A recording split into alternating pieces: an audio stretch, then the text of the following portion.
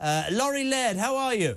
Hi, Jeremy. How are you? Good are you here or there? Where are you? I'm, I'm in West London. Not very exotic at all. no, not really. Not really. West Hollywood. Yeah, I'm really sorry to disappoint you. Did you run out of English, uh, uh, American accent? No, no, no, no, no. I had to Listen, come down. delighted to have you on. I listen. To, the, to be honest with you, the signal to West Hollywood's better than it is to West London. Laurie, um, I've had so many people on telling us that this is uh, the dawn of a new era. To quote Tony Blair, what did you make of it? What do you? you I, I don't know whether you're a Trump fan or a Democrat fan, but I'm just interested as to what you make of what has been a pretty monumental day in the United States of America. Yeah, it's been a huge day. I think that um, I'm watching coverage. I have it on every television here. I was in your studios last night. Um, and I'm looking at all of the U.S. networks sort of tear apart. Why did Trump win? Why did he win? It was it the Hispanics? Was it the women? Was it the college educated women? And the granularity of some of these statistics, and I like statistics, starting to make my head explode. And I hate to oversimplify this, and I might be a bit tired. Donald Trump won because more people voted for him, right? We don't Who have knew? to overanalyze this. There was no ulterior motive. Not only did more people vote for him, um, but it wasn't close. It wasn't a landslide by any means. This was a comfortable victory. And I heard you speaking to Kinsey about this. Any risk of the Democrats uh, contesting this, any risk of political unrest, I think unlikely because this wasn't a close vote. It was not. It, it, it wasn't a landslide again, but this was a definitive victory. And the thing is, Donald Trump told people what they wanted to hear. More people wanted to vote for him. And I think it turned on the economy, right? We saw a lot of exit polls asking people about their issues. One thing that struck me is reproductive rights, which is where Kamala Harris, I thought, was at her best. That was really low down the list on people's concerns when they went to vote. The economy was top. So that really did point to Trump from a very early point last evening. But isn't it interesting as well, Laurie, that, that nobody seemed to have, and I was frustrated, I think, because I expected her to be challenged more on this. I didn't understand why the Trump campaign didn't think it'd be worth saying, hold on a second, love, the reason that you want to vote for us is because patently the economy is not where it was, but you've been part of that. And not only did she not defend that and there was nothing in its place i keep using the phrase empty vessel but i really feel like that this woman was sort of pitched in there was this I, one of the things we talk about over here is the, the mainstream media. I mean, if you'd read the newspapers and the main news channels, this was going to be Kamala Harris as the next president. But if you went online, it was a very different story, right?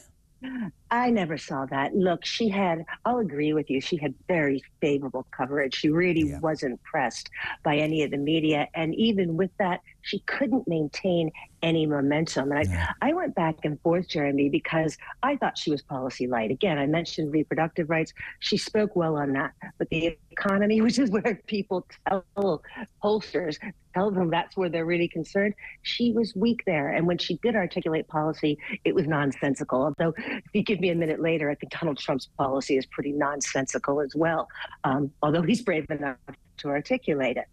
Um, and then I wonder, Hillary Clinton, she was great at policy, right? Do you remember Elizabeth Warren, who tried to run for the Democratic nomination a couple of times? Her tagline was, I've got a plan for that. I mean, people would go to her and say, I can't find a boyfriend. And she would say, I have a plan for that. She became famous for that line. Neither of those women ever got near the Oval Office. So maybe policy is not what Americans want. But it may be that um, nobody, no matter who the Democrats chose, and I agree with you, she probably wasn't the strongest candidate, and there is some talent on the Democratic bench, but it might be that nobody was going to beat a candidate associated with a period of time in which inflation was Mhm. close to 10% in America. Now, having said that, you can't blame this inflation on Trump and Harris. You just can't. It really wasn't their fault. There were things they did on the edge, and probably not Harris, right? She was, she was a kind of an absent VP, right? Yeah. We should have heard about her throughout. It was funny that she, she was VP for almost four years, and everyone said we don't really know what she's about. You know, that's a, it's a real kind of. It looked to me there. like it looked to me like it was. It, it, she wasn't uh, visual for the four years. It looked to me like it was a coup. And and just to finish briefly and say to you, I, I, I kept saying, you know, nobody's asking her about being behind, I would say, the biggest political cover up in American history, which was to con the American people for 18 months that this bloke, Joe Biden, was cognitively, and I feel sorry for him, by the way, cognitively up to the job, and then shove him aside when it suits you and pretend that you don't really want anything to do with his government. But hold on a minute. Actually, the truth is, uh, I've got some new ideas, but I'm not sure if I. Very, very weird. Very, very strange to me.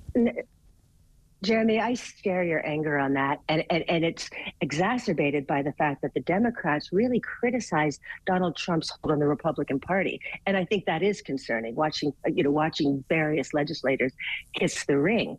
But Trump and his inner circle had it equally um, less visible but a hold on the Democratic Party. And it was, do you remember when George Clooney had that massive fundraiser in California for Joe Biden. And then after that, that disastrous debate on the 27th of June, wrote an editorial in the New York Times saying, come on, Joe, step down. We all knew something was wrong. And you think, wait, you knew something was wrong, but you didn't think we had to know about it? Yeah, that isn't on. You know, Kamala Harris should have been groomed from the moment that Joe Biden was inaugurated. It's really interesting. Laurie, listen, thank you. So, just one final question.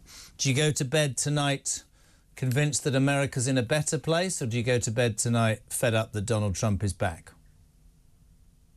Uh, let's talk next week, shall we, about Tariff Man, because I do have some real concerns about that economic policy. So give me a call next week. Absolutely on it. Laurie Laird, thank you very much indeed. US political commentator.